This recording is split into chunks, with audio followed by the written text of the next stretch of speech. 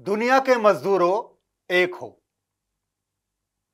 तुम्हारे पास खोने के लिए जंजीरों के सिवा कुछ भी नहीं।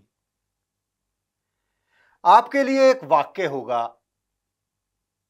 किसी के लिए एक नारा, एक आह्वान, लेकिन मेरे नज़दीक सबसे ज़रूरी और सबसे खूबसूरत कविता। जी हाँ, नमस्कार, सलाम। न्यूज़ क्लिक के इस खास कार्यक्रम में आपका स्वागत है। मैं हूँ मुकुल सरल और मैं हूँ सत्यम। इस कार्यक्रम की शुरुआत हम मई दिवस, यानी मजदूर दिवस से कर रहे हैं और इसका नाम है सारे सुखन हमारे।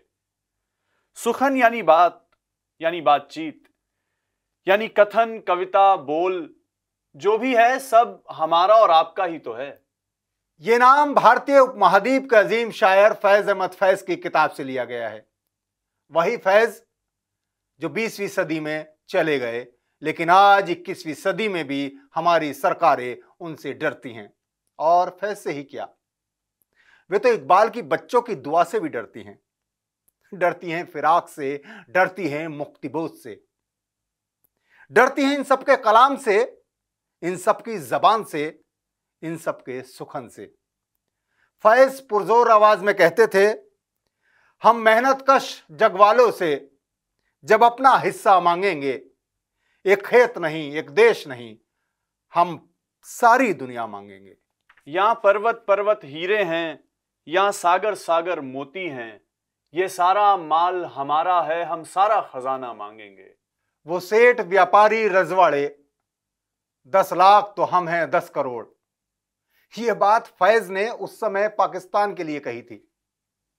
हालाँकि उस समय उसकी आबादी 10 करोड़ के आसपास होगी, इस समय उसकी आबादी करीब 22 करोड़ होगी। हमारी आबादी तो 130 करोड़ है और पूरे भारतीय उपमहाद्वीप या दक्षिण एशिया की बात की जाए तो आबादी करीब पौने दो करोड़ से ज़्यादा होगी। खैर, फैज, सरमाएदारों और मेहनत कशों की बात कर रहे हैं। वो सेठ व्यापारी रजवाड़े दस लाख तो हम हैं दस करोड़, ये कब तक अमेरिका से जीने का सहारा मांगेंगे?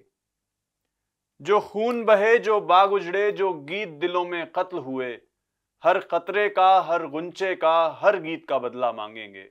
जब सब सीधा हो जाएगा, जब सब झगड़े मिट जाएँगे, हम मेहनत से उपजाएँगे बस बाट बराबर खाएँगे। बिल्कुल, फैज की तरह, यही तो कह रहे थे हमारे किसान, जो तेरह महीने दिल्ली के दरवाजे पर बैठे रहे। जीत कर गए जन विरोधी कानून रद्द करा कर गए, लेकिन जीत अभी अधूरी है, लड़ाई अभी बाकी है। इस लड़ाई में किसान, मजदूर, नौजवान सभी शामिल हो रहे हैं। बिल्कुल वही हालात, जैसे अठारह सौ छियासी में अमेरिका के शिकागो में थे, जब काम के घंटे बांधने के लिए आंदोलन हो रहा था। जब मजदूरों ने कहा था कि आठ घंटे काम के, आठ घंटे आराम के, आठ घंटे मनोरंजन के। इसी मांग के लिए एक मई को मजदूरों ने अपनी शहादत दी और तब से पूरी दुनिया में एक मई को श्रमिक दिवस मनाया जाता है।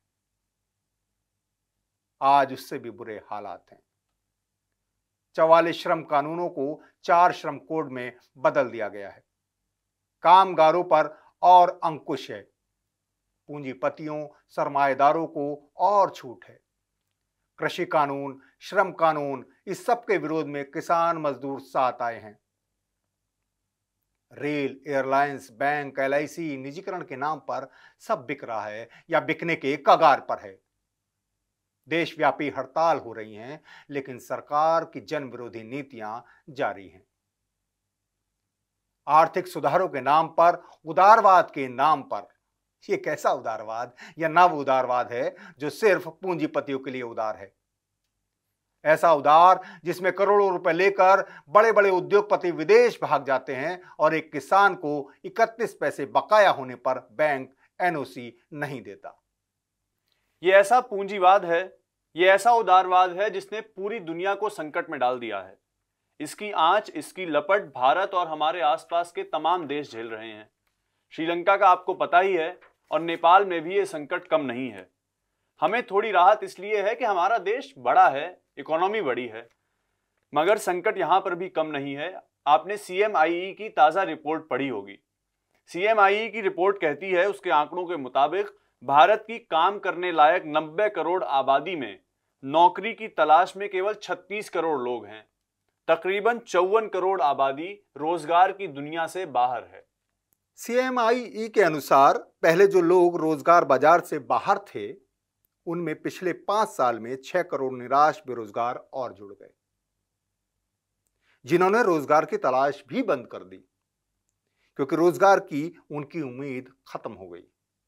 उधर चार करोड़ के आसपास वे बेरोजगार हैं, जो रोज़गार की तलाश में दर दर भटक रहे हैं। यानी कम से कम दस करोड़ लोग, जिनमें से अधिकांश युवा हैं सड़क पर हैं। तमाम जानकार कहते हैं कि यही वह तबका है जिसे सांप्रदायिकता और कट्टरता की घुट्टी देकर उन्मादी हिंसक अभियानों में शामिल किया जा रहा है। वैज्ञानिक समाजवाद के प्रणेता, साम्यवाद के सिद्धांतकार कार्ल मार्क्स ने किस जमाने में यह बात कह दी थी जो हालात हम आज देख रहे हैं? 19वीं सदी में मार्क्स ने कहा था, इतनी चमक दमक के बावजूद तुम्हारे दिन, तुम्हारे जीवन को सजीव बना देने के इतने सवालों के बावजूद तुम इतने अकेले क्यों हो मेरे दोस्त? जिस नौजवान को कविताएँ लिखने और बहसों में शामिल रहना था वो आज सड़कों से एक सवाल पूछता फिर रहा है। महाशय आपके पास मेरे लिए कोई काम है? वो नवयुवती जिसके हक में ज़िंदगी की सारी खुशियाँ होनी थी इतनी सहमी सहमी सी इतनी नाराज़ क्यों है? संगीतकारों ने क्यों खो दिया है? अपना गान। अदम्य रोशनी के बाकी विचार भी जब अंधेरे बादलों से आच्छादित हैं जवाब मेरे दोस्त हवाओं में तैर रहे हैं। संभालो अपने भीतर जैसे हर किसी को रोज का खाना चाहिए, नारी को चाहिए अपना अधिकार, कलाकार को चाहिए रंग और अपनी तूलिका, उसी तरह हमारे समय के संकट को चाहिए एक विचारधारा और एक आह्वान। अंतहीन संघर्षों, अनंत उत्तेजनाओं, सपनों में बंधे मत ढलो यथास्थिति के अनुसार। मोड़ो दुनिया को अपनी ओर।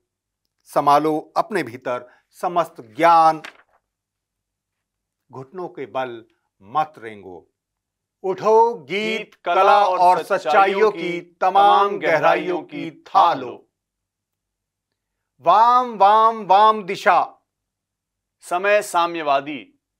पृष्ठभूमि का विरोध अंधकार लीन व्यक्ति। वह स्पष्ट हृदय भार आज हीन हीन भाव हीन भाव। मध्य वर्ग का समाज दीन। किंतु उधर पथ प्रदर्शिका मशाल कमकर की मुट्ठी में, किंतु उधर आगे आगे जलती चलती है लाल लाल वज्र कठिन कमकर की मुट्ठी में पथ प्रदर्शिका मशाल। भारत का भूत वर्तमान और भविष्य का वितान लिए, कालमान विज्ञ मार्क्स मान में तुला हुआ वाम वाम वाम दिशा, समय साम्यवादी। अंग अंग एक निष्ठ धीर धीर सेनानी, वीर, युवक, अति बलिष्ठ। वाम पंथगामी वह समय साम्यवादी, लोकतंत्र पूत वह दूत मौन, कर्मनिष्ठ जनता का एकता समन्वय वह, मुक्ति का धनंजय वह चिर विजयी व्यय में वह धीर धीर, सेनानी, अविराम। वाम पक्षवादी है, समय साम्यवादी। यह कहा था कवियों के कवि शमशेर बहादुर सिंह ने। मई दिवस की बात हो और लेनिन ना याद आए, ऐसा कभी हो सकता है। लेनिन की कविता है, पैरों से रौंदे गए आज़ादी के फूल आज नष्ट हो गए हैं। अंधेरी की दुनिया के स्वामी, रोशनी की दुनिया का खौफ देख खुश हैं। मगर उस फूल के फल ने पनाह ली है जन्म देने वाली मिट्टी में। माँ के पेट में आँखों से ओझल गहरे रहस्य में। विचित्र उस कर्ण ने अपने को जिला रखा है। मिट्टी उसे ताकत देगी, मिट्टी उसे गर्मी देगी। उगेगा वो एक नए जन्म में, एक नई आज़ादी के बीच वो लाएगा। फाड़ डालेगा बर्फ़ की चादर वो विशाल वृक्ष। अपने लाल पत्तों को फैलाकर वो उठेगा। दुनिया को रोशन करेगा। सारी दुनिया को, जनता को अपनी छाह में इकट्ठा करेगा। और अब इस मई दिवस पर इस विशेष कार्यक्रम सारे सुखन हमारे का अंत भी कार्ल मार्क्स की एक कविता से करते हैं। मार्क्स कहते हैं कि असली इंसान की तरह जिएँगे। असली इंसान की तरह जिएँगे, कठिनाइयों से रीता जीवन मेरे लिए नहीं। नहीं मेरे तूफानी मन को यह स्वीकार नहीं। मुझे तो चाहिए एक महान ऊँचा लक्ष्य और उसके लिए उम्र भर संघर्षों का अटूट क्रम। ओ कला, तू खोल मानवता की धरोहर। अपने अमूल्य कोशों के द्वार मेरे लिए खोल। अपने प्रज्ञा और संवेगों के आलिंगन में अखिल विश्व को बाँध लूँगा मैं। आओ हम बिहड़ की सुदूर यात्रा पर चलें। आओ, क्योंकि छिछला, निरुद्देश्य और लक्ष्यहीन जीवन हमें स्वीकार नहीं। हम ऊंगते कलम घिसते हुए उत्पीड़न और लाचारी में नहीं जिएँगे। हम आकांक्षा आक्रोश आवेग और अभिमान में जिएँगे। धन्यवाद फिर मिलेंगे। शुक्रिया।